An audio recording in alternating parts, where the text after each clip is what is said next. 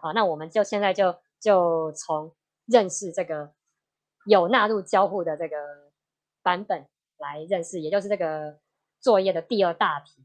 好，那它的回归模型哈，也其实你们如果说有有有有有去想，应该也都能想得到，就是在前面没有交互作用的那个回归的那个回归模型，再增加一一项，就是通常就是用交互作用的项目表现格式就这样子但这个是药物成语有没有治疗？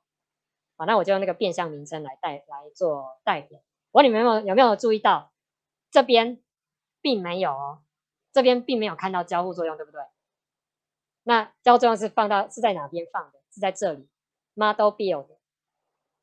好，这这个操作技巧给大家看一下，就是这里前面这边看不出有交互作用，我就是放什么变相进去，这边看不出出来。它主要是在这个 model build 这边设定。那那个刚刚你们做 ANOVA 应该也有发现，ANOVA 的那个 model 也是有类似的设计。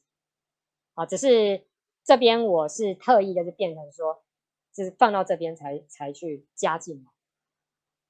OK，好，那那么好，那现在哈，呃，我给你们的版本应该是有一个地方上面这个 model fit 这边有一点调整，有有点不大一一样。那我要你们哈，现在同同样先算一下这三个，就是两个主要效果跟这个交互作用的 sum square。到底是占 total 的 sum square 是占多少？先算一下，是属于上面这两个，这个一个是 r square，一个是是校正后的 r square，是是比是属它这个算出来是跟哪一个比较一致？用一般一样用计算机算一下。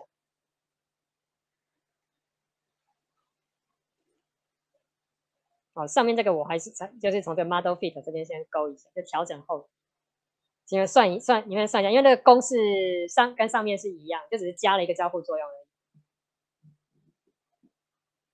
就是算一下这个三这三个成分的 sum square 占全部的 sum square 是多少？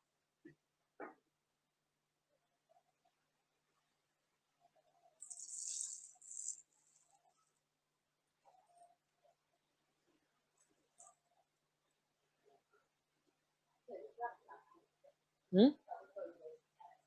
啊？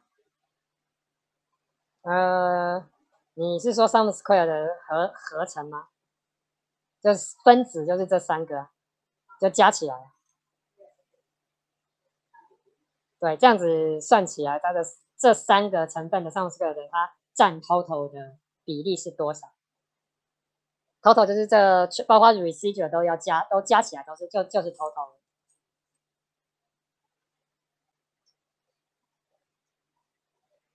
那个应该可以很快就算出来了。你们是像这个是是八点零点八六六五还是零点八零九？这样算出来的话，零点八八六还是零点八零九？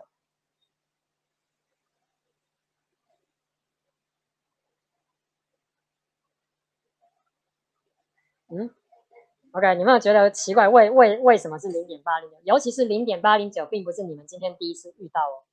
刚刚上面有交互作用的这个有没有注意到？它的 r 平方还还不是校正后的，是它自己，它这边那个没有校正的时候，它就是零点八零九，这是怎么一回事？其实这个就是可以说明，在这个状况下，那个这里面都你们有看到它的 ANOVA table 告诉我们，这个交互作用就是药物跟有没有接受治疗的交互作用，其实是没有那个。没有那个小于任何的显著水准，所以说以这个资料来说，它最适配、最适合的这个资料的线性模型，其实是没有交互作用的线性模型。啊，就是说这个你呃，这个是这个这个这个概念哈，是下一个单元才会谈到的 goodness of fit。它其实还有一个意义，就是说。你今天有这个资料，你是不是你可以用没有交互作用的模型，也可以用有交互作用的模型来去算，对不对？来去处理，而以这个 R square 可以告诉我们，把交互作用拿掉，它其实就已经足够了。就是说，用没有交互作用的就足够可以去那个去解释或是预测这全部的资料。OK，那当然你们会觉得这个零点八六五是是那那怎么会比零点八零九还多了个零点五左右，零点四多左右？不零呃零点五零点五四了，对不对？这个叫做增加的那个解释变异，好，也就是说增加了这个交互作用，它只有增加了零点五四的呃零就百分之五点四的变异而已。所以说这一个状况下，交互作用没有显著是很正常的，因为对这个资料来说，有没有交互作作用，对对于解释或者是预测这个，这用这个资料啊去预测有相同条件的个案的它的疗效啊是没有什么帮助。好，那这个为什么要在这边特特特别说？因为这是本来在前面那个讲那个回归相关于回归模型的时候，我应该在多元回归那边讲。但是老实说，多元回归来去讲这个概念会比较复杂，所以我把它放到这边。其实这边就等于是再再次跟你们谈什么叫做多元回归。其实你们现在看到的就是一个多元，就是这两个例子，其实刚让你就是见看到了那个最实在的多元回归的线性模型。好，只要是有两个因子、两个独变项以上的这种回归线性模型，哈，就是所谓的多元回归。那但是并不是说你这也可以，这同时我们也可以学到，哈，并不是一个回归式。它有越多的因子，你放越多因因子就越好，反而是最放的，就是说刚刚好就够。那什么叫做刚刚好？就是说你可以去比较两个模型，好像是这个比前面多了一个交互作用，它放进去后，它的 R P R square 增加的幅度是不是真的有增加到值得？它是一，它是一个值得。拿来下结论的线性回归模式。好，那以这个 ANOVA 的例子，以它因为做 ANOVA 例例例子来来说，因为我们已经知道交互作用并没有达到任何的显著调整，显任何的显著水准，所以它不能，所以说有没有，所以说它并没有比没有交互作用的那个回归式还更好，能够解释这个资料。OK，这样子有了解吗？嗨，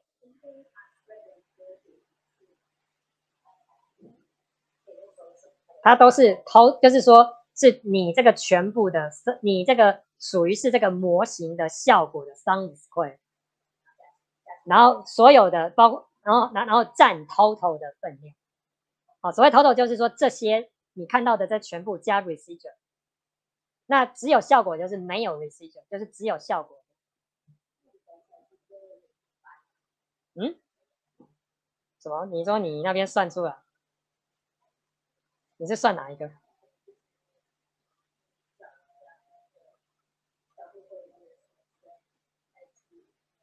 没有，是全部加起来，这三个要加起来，三个加起来，然后再除以全部的全全部是说包括 receiver。包括 residual，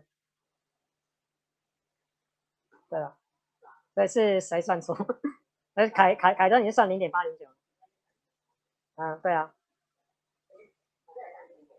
嗯，不是八一六，是八一，是八零九，OK，不过最接近的还还是这个 R，这个零点八零九，好，没关系，还有，好，没关系，我你我这边是主要是给你们看的。哦，它跟因为主要是我这要强调是它的调整后的 R square 哈，跟没有交互作用的它的那个原始的 R square 是一致的，所以这个显示说，这个其实更重要的是显示说，呃，有那在这个以这个资料来说，有纳入交互作用，并不能够告诉我们没有纳入交互作用更多的资讯，好，所以我们才会采用。有纳入的状况，我不过你们这一题只要说明它这个比较接近的是那个零点八零九。